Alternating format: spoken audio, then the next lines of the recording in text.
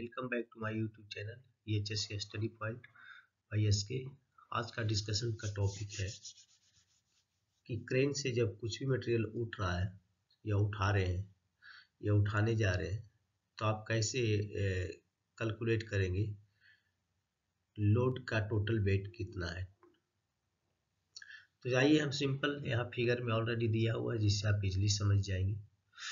Figure number one total load है जो already यहाँ पे शो कर रहा है figure number one two three four ठीक है? तो यहाँ पे आते हैं फिगर नंबर वन क्या है? जिस मटेरियल को उठाना है, उसका लोड मटेरियल का वेट क्या है? जिस मटेरियल को उठा रहे हैं, उसकी मतलब वेट कितनी है? क्वेश्चन नंबर टू में क्या है? रिगिंग जो जितने भी चीज़ हम इस्तेमाल करते हैं, जैसे स्लिंग हो गया स्प्रेडर हो गया साइकिल हो गया डी साइकिल हो गया और कुछ कुछ चीज़ें का अगर इस्तेमाल करेंगे तो भी लोड में ही आएगा।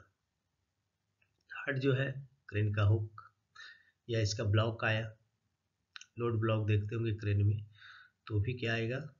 वो भी लोड में आएगा। और नेक्स्ट जो है, उसके बाद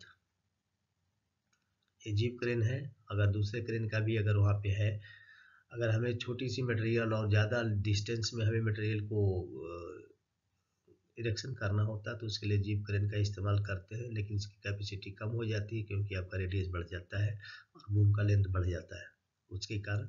लेकिन अगर आपको हैवी मटेरियल उठाना है और का, काफ़ी कैपेसिटी की तो वहाँ पे हम लोग मेन मेन हुक का इस्तेमाल करते हैं, जो कि ये है, और ये भी लोड में आएगा चार नंबर ठीक है? तो आप अच्छे से भी इसमें, इस फिगर्स के माध्यम से समझ गए होंगे कि आपको अभी कन्फ्यूज़न नहीं होगा कि क्रेन का बेट क्या होता है और लोड बेट क्या होता है? दूसरे फिगर से भी समझते हैं। इस फिगर में भी देख रहे हैं पिक्चर यहाँ पे। यहाँ पे भी देखें, आपका मेन हुक में यहाँ है जो मटेरियल को उठाया जा रहा है। पहले में है जो जीप करेंट से उठाया जा रहा था। तो यहाँ भी कैलकुलेशन करते हैं कि लोड वेट कितना आएगा। सबसे पहले देखते हैं, यहाँ ऑब्जेक्ट का वेट कितना है? ये ऑब्जेक्ट है नंबर वन पे बेट ऑफ़ ऑब्जेक्ट जिसको उठाना है आपको। ये है जो सिलिंग लगाएँगे डिसाइकल लगाएँगे स्प्रेडर बीम लगाएँगे, जो भी करें जिस मटेरियल हो, जिस तरह का अरेंजमेंट हो, वहाँ पे उस तरह करेंगे और जकल जो भी चीज़ लगेगा उठाने के लिए, वो सारे चीज़ बेट में आएँगे। जैसे यहाँ पे सिलिंग लग रहा है डिसाइकल लग रहा है स्प्रेडर लग रहा है, जो भी है। उसके बाद आपका हुक हो गया और हुक ब्लॉक ये तीन नंबर पे आएगा।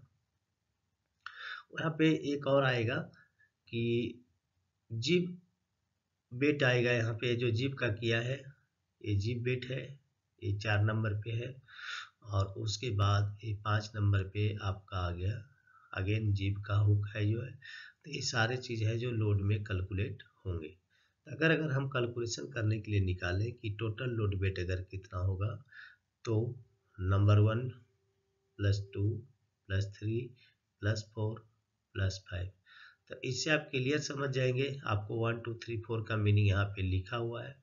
इसको देख के आप इजली एक, दो बार अभ्यास करेंगे। आपको अच्छे साथ हो जाएगा। इसमें फिर कोई भी प्रॉब्लम नहीं है। ठीक है? नेक्स्ट और एक फिगर के माध्यम से समझते हैं। यहाँ पे भी देख रहे हैं कोई, यहाँ पे टायर माउंटेड क्रेन है। यहाँ पे देखिए मटेरियल उठाने की कोशिश किया जा रहा है। तो यहाँ पे जो है, यानी आप समझिए कि क्रेन के असेंबली के बाद, यानी कि बूम के बाद जो नीचे गिरने वाली जितनी भी पार्टें हैं, वो सारे लोड में आ जाएँगे। तो यहाँ पे देख रहे हो, यहाँ पे लोड कैलकुलेशन की अगर बात करें तो हुक ब्लॉक आ गया इसमें, जो कि उठाने वाला है। स्लिंग्स आ गए। उसके बाद स्प्रेडर आ गए। साइकिल यहाँ लगा हुआ है, वो आ गया। और उसके बाद जो एक्चुअल लोड जिसको आप उठा रहे हैं। तो ये हो गया एक्चुअल लोड जिसको उठाने की कोशिश किया जा रहा है। तभी समझ में आया कि टोटल बेट लोड क्या हुआ? Hook block plus sling plus spreader plus D shackle या साइकिल जो भी लगाते हैं। और उसके बाद ये जो सिलिंग यहाँ पे लगा रहे हो प्लस ये हो गया लोड तो ये सारे चीज़ों को जोड़ेंगे तो ये क्या निकलेगा? टोटल बेट लोड तब क्वेश्चन यहाँ पे ए उठता है कि टोटल वेट लोड ए हो गया तो फिर क्रेन की वेट कितनी होगी? क्रेन का वेट अब यहाँ क्या होगा? यहाँ से लेकर के पूरा ए स्लिंग छोड़ देंगे। यहाँ से लेकर के पूरा ये सब जो पूरा असेंबली है एक रेन के बेट में आएगा। जबकि ये सब बेट जो ए बेट दिख रहा है जो है जो आ, लोड का बेट में आ जाएगा और इसका इम्पैक्ट करेंट पे पड़ेगा। तो ध्यान रखना ज़रूरी है। स्टेबिलिटी का सिद्धांत मैंने बताया है, लेवरेज का भी सारा चीज़ मैंने बताया है। उसको देखते हुए याद रखेंगे, अगर इन सब चीज़ों का याद रखेंगे तो करेंट के पास खड़े होते ही आपको सारा अनुमान लग जाएगा। तो ये सब जानना आपको ज़रूरी है। तो ओके दोस्तों, हमारे चैनल पे जो नए हैं, प्लीज़ सब्सक्राइब ज़रूर कर लेना।